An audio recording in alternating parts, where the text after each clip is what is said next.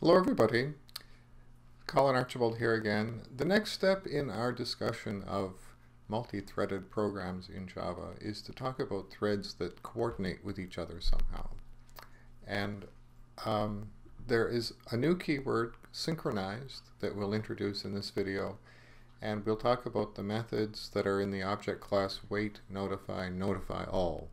This is an important component of the Java certification exam, so a bunch of people are asking me if I would work on a video that would that would explain these. And it's it's perhaps the hardest one that I've had to explain, but we're going to do it. That's why I'm here in the video this time. Well, let's talk about this conceptually from the big picture. What what's going on here? Um, multiple threads share data. So when you create a thread object, you might somehow give them access to an object, um, pass that object reference into the constructor, for example. And these threads, multiple threads that have access to the same data, they might be trying to change the variables um, spelled wrong at the same time. And this is a common problem. Databases do this all the time, and the database is responsible for locking the data that they um, that the user is accessing until the user is done with that part. So when you go to buy your uh, movie ticket online, you wouldn't want the ticket to be gone by the time you get your credit card out of your wallet. You, you expect that that piece of information to be locked while you have access to it. So think of yourself as the, the thread having access to some data you don't want other threads having access to that data while you have access to it, or the results will be um, unpredictable at best. Okay, so in Java, there's the concept of a lock. And I have a I have an object right here. It's coffee cup. And this coffee cup is an instance of the class cup. And every object in Java has a lock associated with it. So there's a lock on this object. And if you, as a thread, want to manipulate this object, the instance variable in this object, you're going to ask for the lock first. And while you have the lock, other threads cannot have access to the data inside the cup. And when you're done, you give the lock back. So there's the mechanism. It's not that hard. If you're a thread and you have access to an object, um, you ask for the lock on the object first, then you manipulate the data in the object while it's safe to do so, and then you give the lock back. So some other thread that has access to this object might then want to do the same thing. Ask for the object, manipulate the data, and then give the lock back, making the object accessible to other threads. Um, some of this is done for you in some places. So if you have a collection of objects, this is a common example. If you have a collection of objects and you have lots of threads accessing a large collection of objects, you will want that collection to be thread safe so that um, your threads will not corrupt the data within that collection. So the keyword uh, that we're adding now uh, is synchronized and I'm going to make some Java code to explain this. So there will be an object of type cup being accessed by two threads and the threads will be a waiter and a customer. And the customer wants to drink the coffee and the waiter wants to put more coffee in the cup. So it's the same cup and two actors or two um, threads that are manipulating the same piece of data. So let's look at um, some code that would implement this small example to demonstrate the use of um, synchronized. Let's go into Eclipse and do that now. So we have this very small test And I um, let me go through these one by one and then come back and revisit each of them. We make an instance of the of the cup class. So we have one object of type cup. And then I'm going to make one waiter and one customer, Bob and Steve. And these are threads. So we pass the cup object to the constructor of both threads.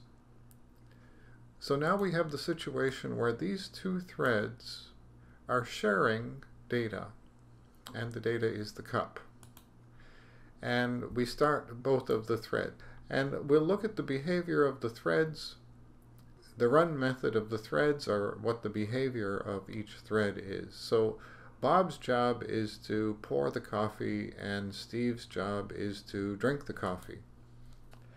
At the end, we well we go to sleep for a couple of seconds, and then at the end, we should have um, no coffee in the cup because we had started out with zero coffee in the cup when we created this object. So far so good. Let's look at the customer. It's a very small thread. The customer's job is to drink the coffee 10 times. Sip, sip, sip, sip. And the waiter's job is to pour the coffee using the cup object. So this is the shared cup object that was passed into the constructor in the test class. So this code is very, very simple. Um, the entire behavior of the waiter is to pour the coffee 10 times, and the entire behavior of the customer is to drink the coffee 10 times. Using the same cup. Let's look at the cup class. It's a very simple class. It's not a thread, it's a piece of data. An instance of this class, think of it as a piece of data, and it has one integer variable in it which is how much coffee is in the cup and it starts out with zero when we call the constructor we pass in a zero here set coffee and get coffee are the ones that Eclipse generated for me and now let's look at drink and pour drink and pour are methods inside of this cup and so what can a thread do? If a thread has access to this cup object, the thread can call the drink method or the thread can call the pour method. So I wanted this to fail quickly instead of failing um, on the 20,000th try. I wanted it to fail quickly. So here's what I did. I took the instance variable and I stored it in a local variable and then I subtract 1 from the local variable. I print out sip and I go to sleep for a small random amount of time and then I set the instance variable to the local coffee variable. So the effect of this is that the drink method will subtract 1 from coffee. We store coffee in a local variable subtract 1 from it, and then put it back into the instance variable. So it will be 1 less. And I did this, go to sleep for a little bit, so that I could force this to fail um, more quickly, have the threads compete in a very awkward way um, for this instance variable coffee. Pour works the same way, except we're going to add one to the local variable. We're going to print out pour, go to sleep for some length of time, and then set the instance variable to the local variable, which is one more than what it started with. So if we run this, we should get 0 at the end. So pour and sip are competing, so the two threads are competing for the processor trying to add one and subtract one from the instance variable coffee. If we run this a few times, we should get different answers. This time we get positive 10. We get negative 10,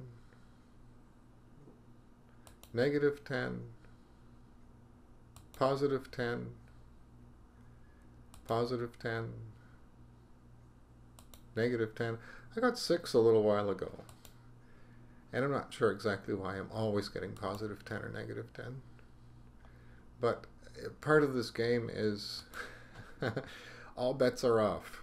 We have two threads manipulating a piece of data, and the answer is wrong all the time. So how are we going to fix that? We have to, um, surprisingly, not worry about the threads, but worry about the object. It's the object that has to defend itself. And when we go into the object cup, we have these two methods, drink and pour, and we're going to add the keyword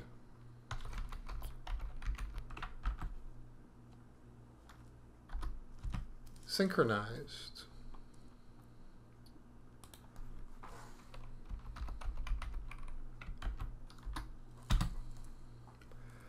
Okay, so let's think about what synchronized means. So the waiter, it's the waiter's job to call this method. And the waiter is a thread. And when the waiter is inside of the synchronized code, it has the lock on the object. It holds the lock on the cup. That means that if the other thread tries to enter synchronized code on this object, it might be the same method or a different method. Any of the methods that are synchronized or any of the code that's synchronized, the other thread cannot enter it, cannot enter synchronized code because the first thread has the lock on the object. So one thread that is executing synchronized code on an object prevents all other threads from entering synchronized code on that same object. Let's look at the different behavior that we have now that those two methods are synchronized.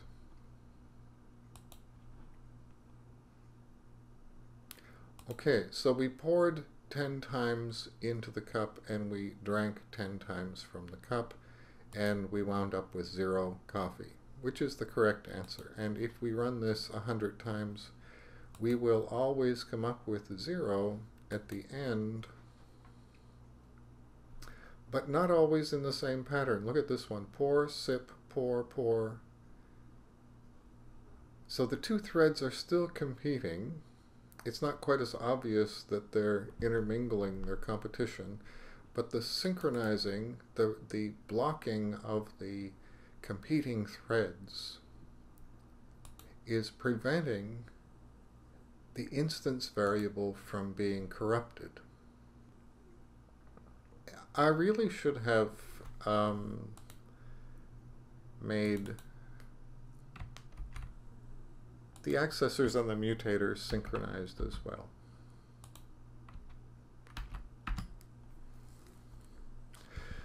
So let's go back and think about what we did.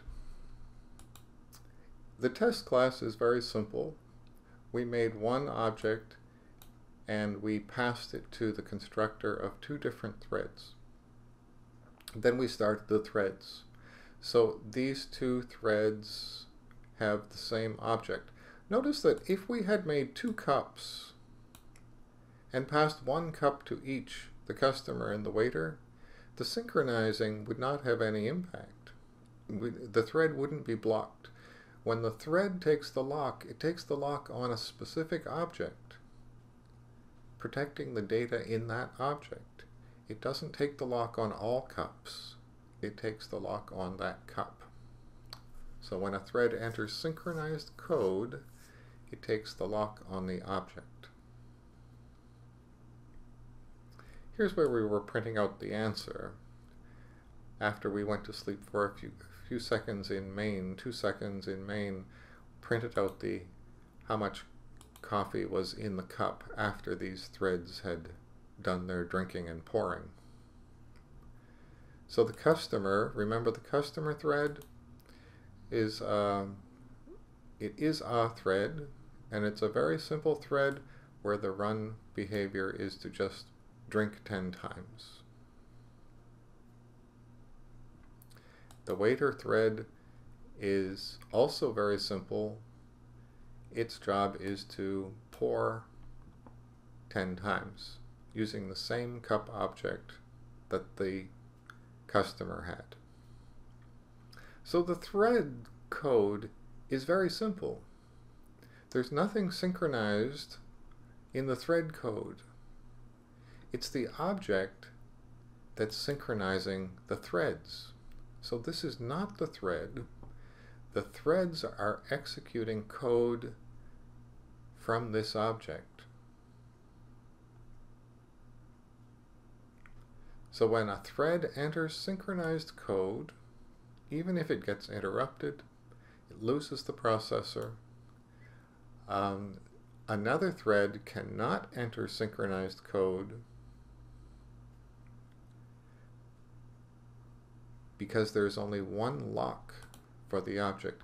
Some people refer to this as mutual exclusion.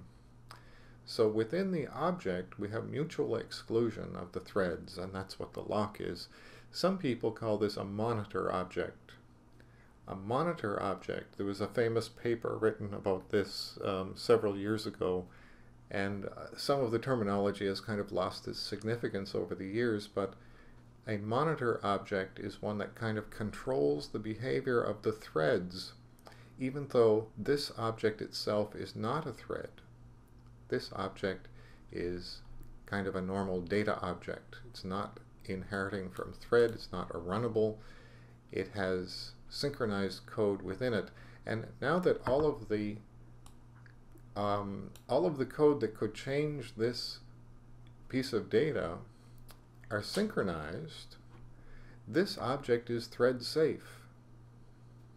It's quite inefficient, but it's thread safe. Multiple threads that have access to this object cannot change the data in, in a, an unexpected way. Well, I hope this is working for you. It, it makes sense to type in this code and you have a better feel for code that comes off of your own fingers. There, we got a little bit different behavior that time, a sip. So try playing with it. Change the delays, the sleeps, and um, see if you can adjust the behavior of the threads so that you can demonstrate to yourself that uh, this object is thread safe. So the next thing that we have to do is to talk about threads that use wait, notify, notify all. And this is the next step in the complexity of coordinating threads, but it's, it's critical that you understand the synchronized keyword and taking the lock on the object before we proceed to talk about wait, notify, notify all. We had a look at how to synchronize threads, to how to have the objects protect themselves, to make themselves thread safe so that multiple threads having access to an object won't corrupt the data inside of the objects. So now we're, as promised, are going to talk about wait, notify, and notify all. And the idea here is that we want our threads to coordinate with each other to achieve some goal. And the threads that are just using data that protects itself, that's, that's a big step to have synchronized code. But now the next step after that, if we have synchronized code, why can't the threads communicate with each other in the way where they say, let me know when you've got something for me? Instead of me sitting here sleeping um, inside of synchronized code, preventing other threads from doing what they want to do, why don't I just give up the lock on the object until you tell me that it's time to take the lock back and do the work, do the work I need to do. So um, the analogy is instead of keeping to check over and over You just sit there and wait to be notified that there is something that's that's going to happen. So you detect a situation where you have to wait and then you are notified by someone else. So when a thread is in a wait state, it can't do anything. A thread that's waiting is not executing. It doesn't have the processor.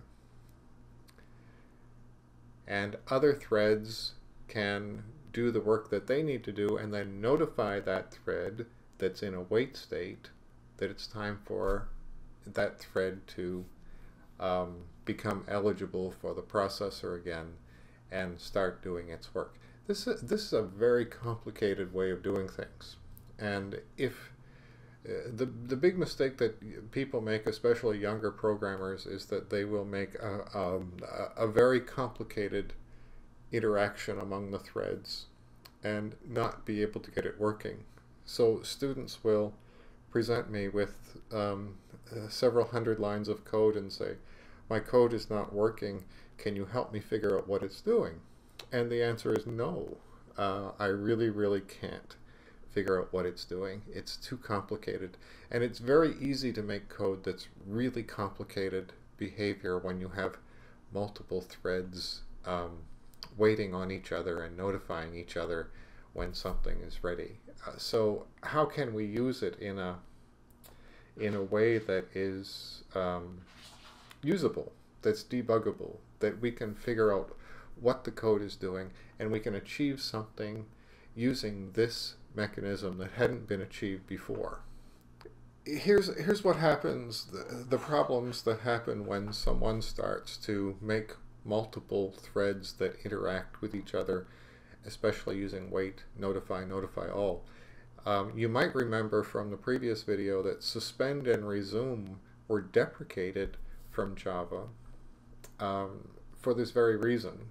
It, it isn't that they didn't work, it's that people would make code that was so very complicated that no one could figure out how, how it was working or why it wasn't working, more importantly. So the problems, um, starvation of a thread. A thread has work to do, but it never gets the processor because other threads are hogging the processor and it sits there unable to do its work. The other one is deadlock. Some people call this deadly embrace, when two or more threads become interlocked. One is waiting for the other, and the other is waiting for a third, and the third is waiting for the first. So all manner of complicated situations can happen there where um, you're running the code and then it just stops. And you can't set a breakpoint and walk through and find because it's a timing error. So if you set a breakpoint and you walk through threads, you'll have to have a breakpoint in each thread and then try and walk through them at the exact speed that they would be going and it, it's impossible. You cannot set breakpoints and walk through multiple threads to see where the timing problem was. The timing problem is um, a fraction of a fraction of a second, and you can't detect that by walking through it, which takes seconds per line of code. Um, so it's very, very difficult. It's very, very difficult to write code that does this. Oh, another one is load balancing. Um, some threads have more work to do than other threads, and you want to somehow influence that part of the work to be getting more of the processor. These are these are incredibly different, difficult things to do, and there's one um, example of code that's used to explain wait and notify. It's called the producer consumer architecture. So this is a software architecture where um, multiple threads are assigned to produce work and do work. So the producer thread creates something that they're going to pass to the consumer threads. And it can be used for anything. It's an architecture, it's not a specific application.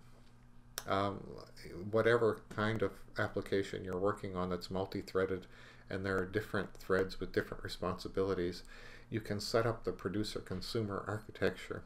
And the advantage of it is it's really simple enough so that when it stops working, you can figure out what was going on because there's an expected pattern of what should be going on. So I'm going to go through the producer-consumer architecture with an example, um, a very, very simplest possible example so that we can see how um, one thread would be waiting for another thread to notify it that something is going to happen. So let's do it in code. Let's look at the um, producer-consumer software architecture.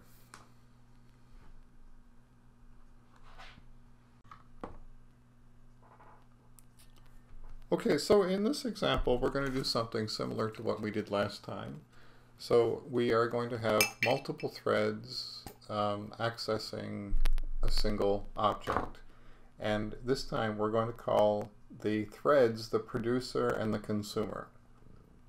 Now, the producer's job, let's assume that the cup is empty for now, the producer's job is to take the lock on the object and put data inside of the object and then give the lock back. It's that easy. Suppose the producer doesn't give up the processor and it tries to do its job again. It takes the lock and it finds out that there's already something in the cup and it can't do any more work. It would clobber that data, so it goes into a wait state. A thread that's in a wait state cannot do anything until it's notified. When it goes into a wait state, it gives back the lock so that another thread can come along, like the consumer thread. The consumer thread takes the lock on the object and then it consumes the contents and it gives the lock back. When it consumes the contents, it also calls a method notify all. So any threads that were waiting for this object, that were in a wait state on this object, are then notified that they can leave their wait state and try and get the processor back again. So suppose the consumer now tries to consume again. It will take the lock on the object. It will see that there's nothing available, so it goes into a wait state. And it will wait there until somebody notifies it. When it goes into a wait state, it has to give the lock back so that the producer can come along, put something into the cup, and then notify the consumer that there's something there. So it's a very easy um, balance for these threads to coordinate using the wait and notify methods. Now, let's look at the code. The code is really very simple. Here's the test. We're going to make one object of type cup. And we're going to pass that to two thread objects, consumer and producer. Just ignore the one for now. It's possible to have more producers and more consumer threads and it will still work. But for now, we're just going to have the we're just going to have one of each. So let's look at the consumer thread first. The consumer thread, the run method of the consumer thread is really easy. It's just, it 10 times it tries to get something out of the cup. Um, we have the sleep for some random amount of time just to make it easier to see the behavior of what's going on. And the producer, its job in its run method is to try to put something in the cup. So there's no code in the threads that is about coordinating the behavior of the threads. The coordinating of the threads is done in the data object, the shared data object, which in this case is the cup. So let's look at what's going on in the cup in the put and get methods. First of all, it's synchronized code, and you can only use wait and notify inside of synchronized code. Okay, so let's think about Um, let's think about the producer first of all, calling its put method. There's a flag, an available flag. If there's already something available, then the producer cannot produce something else. So the first thing that happens is if available is true, that means there's already something in the cup and the producer will go into a wait state. Suppose there wasn't anything available. Available is false, then we will fall down here and immediately set available to true and successfully put the value into the cup. It's just an integer for now. Put the value into the cup and then call notify all. Notify all allows any thread waiting on this object to um, regain the lock and start start executing code again. So let's look at the behavior of the consumer. If there's nothing to get, if there's nothing available, the consumer can't do any work and it goes into a wait state.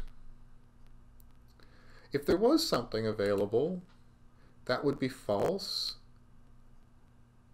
and we would if there was something available, not available would be false and we will actually be able to go and do our work, which is to just return the contents. That's what the consumer does. So do you see how these two are coordinating? One thread is calling this method and one thread is calling this method. And if the put, if the producer, if it gets there too soon, it will go into a wait state until it gets notified that it's okay. And similarly, if the consumer gets there too soon, it will go into a wait state until it's notified that there is something to consume. So what we're looking at here is not an application, it's a pattern. And you can build an application on this pattern where the producer might be producing an order and the consumer threads are have the job of processing that order and um, you can it, it's it's a very valuable pattern in and it it's it's a good way of explaining the wait and notify methods. Let's talk a little bit about load balancing. Suppose the consumer has a whole lot of work to do. Um,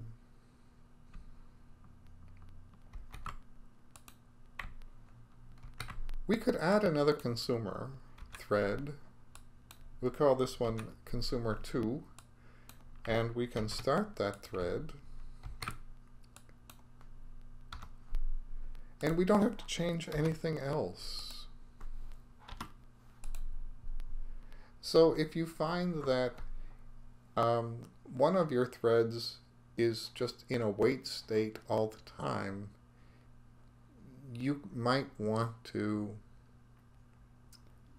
add more threads on the other side so that the, the threads are not waiting too much. So this load balancing um, among the different parts of the application is, is really easily implemented with this. Let's run this using two consumers and one producer and see what happens. So the, the producer produced a zero and consumer number two got that zero. And then I wonder if consumer number two is getting all of them. No, there's consumer number one. Got some work done. Consumer number one got some work done there. But if you count these up, um, each number was produced and consumed only once and that's that's our objective um, of these coordinating threads, and that's that's the pattern.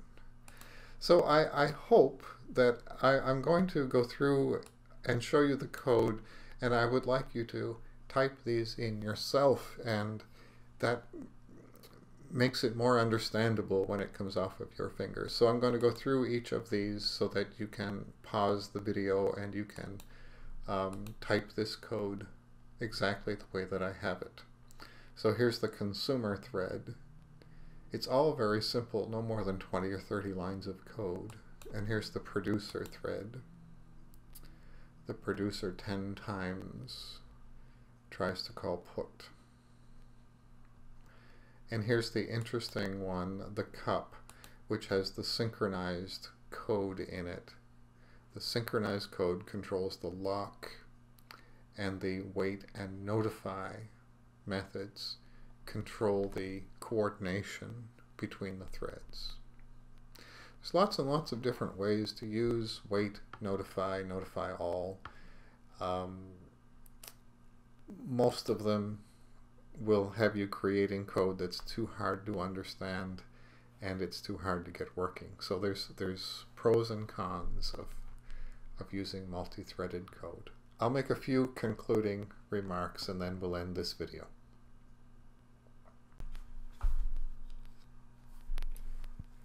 Well, I hope you made it to the end.